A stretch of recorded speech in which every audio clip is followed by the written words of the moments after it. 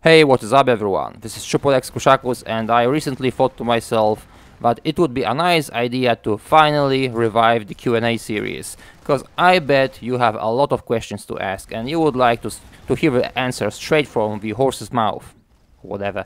Anyway, uh, the old questions they kind of piled up, and uh, it's one huge mess. So I would rather rather have you ask me new questions instead of trying to sort that old mess out. So if you have a question, please ask me, and if I find the question interesting, I'm gonna answer it in the next Q&A. See you later, guys. Yo.